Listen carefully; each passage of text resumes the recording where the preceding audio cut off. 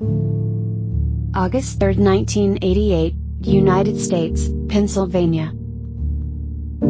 It all started with a heavy smell coming from the neighborhood.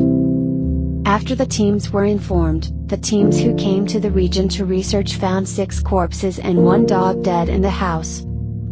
Although the incident was investigated, no data was found. Seeing the headline news, Chester set out to go home to investigate. It was too late for him when he came in.